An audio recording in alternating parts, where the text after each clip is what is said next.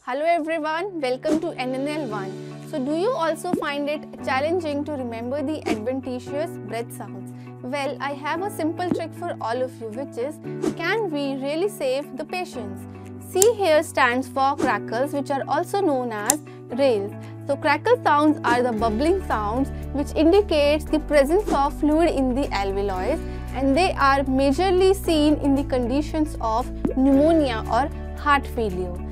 Next we have wheezing. So wheeze sounds are high-pitched musical sounds which indicate the obstruction in the airway and they are typically seen in the condition of asthma.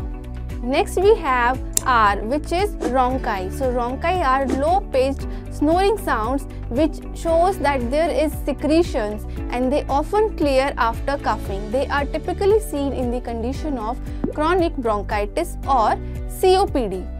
Next we have stridor. Stridor are high-pitched sounds which indicates obstruction in the upper airways and they are typically seen in the conditions like foreign body obstruction or in the cases of croup.